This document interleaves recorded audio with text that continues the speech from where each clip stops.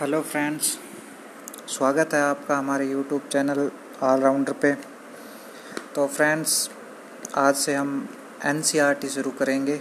Six class की N e पहला lesson history की एन e की बुक जो है आज से हम शुरू करेंगे। एन के सिक्स क्लास का पहला लेसन आज हम करेंगे। और उसमें जो इम्पोर्टेंट पॉइंट है ना, वो ही हम करेंगे। जो C TET P TET R TET H TET सब जो एग्ज़ाम होते हैं, उनके लिए सब के लिए N C R T important है। तो एन सी आर टी करना बहुत ज़रूरी है फ्रेंड्स अगर आप कोई भी एग्ज़ाम की तैयारी कर रहे हो तो एन सी आर टी करिए। N C R C N C R T से आपका जो बेस है ना, वो मज़बूत होगा। तो आज से हम एन सी आर टी शुरू करेंगे। पहले सिक्स क्लास की एन सी आर टी की हिस्ट्री की करेंगे, फिर सेवन्थ की करेंगे, फिर एट्थ की, और फिर जियो करेंगे हम। तो ऐसे हमारी एन e चलेगी।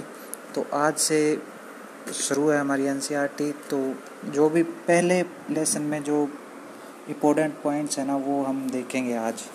तो बुक का ना नाम है हमारे अतीत फ़र्स्ट और पहले लेसन का नाम है क्या, कब, कहाँ और कैसे। तो इसमें जो पहला पॉइंट आता है, वो है सहायक नदियाँ, उन्हें कहते हैं, जो एक बड़ी नदी में मिल जाती है।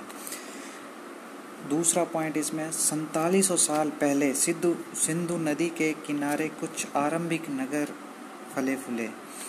तीसरा पॉइंट है आरंभिक नगर जो थे वो सैतालीस साल पहले मतलब सैतालीस साल पहले, आज से सैतालीस साल पहले जो सिंधु नदी के किनारे बसे थे। तो उसके बाद अगला पॉइंट है इसमें, गंगा व इसकी सहायक नदियों के किनारे किनारे नगरों का विकास लगभग 2500 साल पहले हुआ।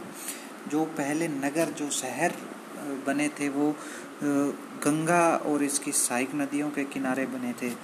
तो नगरों का निर्माण जो है 2500 साल पहले हुआ था। जो उसके बाद है प्राचीन काल में गंगा व सोन नदी के आसपास के क्षेत्र को मगध नाम से जाना जाता। मगध एक बहुत ही शक्तिशाली महाजनपद था। तो मगध का आगे बहुत ज़िक्र आएगा तो इसका थोड़ा थोड़ा ध्यान में रखें आप। इसके बाद है खेती का आरंभ लगभग आठ हज़ार वर्ष पहले हुआ था। सुलेवान में किर, किरतर की पहाड़ियों पे जो भारत के उत्तर पश्चिम में मौजूद है। सबसे पहले गेहूँ व जौ उपजाया गया था। इंडिया शब्द इंडस से निकला है। जिसे संस्कृत में सिंधु कहा जाता है। ईरानियों व यूनानियों ने सिंधु को हिंदोज व इंदोज तथा इसके पूर्व में मौजूद भूमि को इंडिया कहा था। तो भरत नाम का प्रयोग उत्तर पश्चिम में रहने वाले लोगों के एक समूह के लिए किया जाता था। भरत जो है, एक लोगों का समूह था, उसे भरत नाम दिया गया था। उस भरत से ही आगे जाके भारत नाम पड़ा इंडिया का।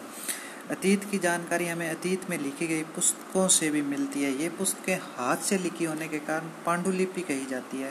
अंग्रेज़ी में इसे मेन्यूस्क्रिप्ट कहा जाता है।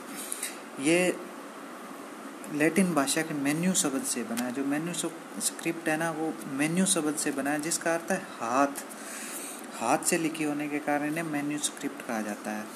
ताड़ पत्रों व हिमालयों पे उगने वाले भुर्ज पेड़ की छाल से तैयार भोजपत्र पर लिखी मिलती है। तो ये पांडुलिपियाँ जो है वो एक हिमालय क्षेत्र में मिलने वाला एक भुर्ज नाम का एक पेड़ है, उसकी छाल पे लिखी जाती है, लिखी मिली है हमें। तो ये पांडुलिपियाँ मंदिरों में, विहारों में मिली है। आम लोग प्राकृत भाषा का प्रयोग करते थे उस समय। अभिलेख, पत्थर व धातु जैसी कठोर सतह पे उत्कीर्ण किए जाते थे। तो जो अभिलेख थे वो कठोर सतह पे जो पत्थर थे धातुएँ थी, जो भी धातु, लोहे की धातु, जो भी धातु थी, उस पर जो खोद के लिखे जाते हैं ना, उन्हें अभिलेख कहा जाता था। पत्थर व ईंट से बनी इमारतों के अविशेष चित्रों व मूर्तियों का अध्ययन करने वालों को पुरातत्वविद कहा जाता था। पांडुलिपियाँ अभिलेखों से ज्ञात जानकारी को इतिहासकार स्रोत कहते थे। वर्ष की गणना जो है, ईसाई धर्म के प्रवर्तक ईसा मसीह के जन्म से की जाती है।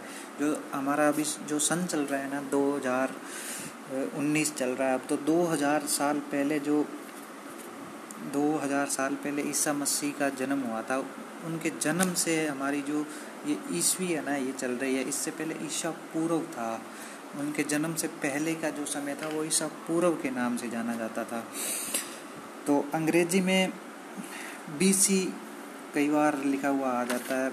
हम ईसा पूर्व या ईस्वी ऐसे, जैसे हिंदी में ईसा पूर्व होता है, ईस्वी होता है, ऐसे इंग्लिश में बीसी लिखा आ जाता है। बीसी का मतलब होता है बिफोर क्रस्ट और एडी का मतलब होता है एनोडोमिनी तो ये सभी इम्पोर्टेंट है, आप ध्यान में रखें ये। सी ई e का मतलब होता है common era B C E को बिफोर कॉमन एरा कहा जाता है। ये ध्यान में रखें आप। भारत में तिथियों के इस रूप का प्रयोग लगभग 200 वर्ष पहले आरंभ हुआ था। तो ये सभी जो इम्पोर्टेंट पॉइंट है, पहले लेसन में से छवीं क्लास का ये पहला लेसन है। इसमें सभी के सभी जो इम्पोर्टेंट पॉइंट है, वो हमने इस वीडियो में आपके सामने रखे हैं। तो अगर वीडियो आपको अच्छा लगे तो लाइक कीजिए सब्सक्राइब कीजिए और शेयर की, कीजिए। आगे भी बने रहेंगे हम आपके साथ। दूसरा लेसन जल्दी आपके सामने लेके आएँगे। धन्यवाद फ्रेंड्स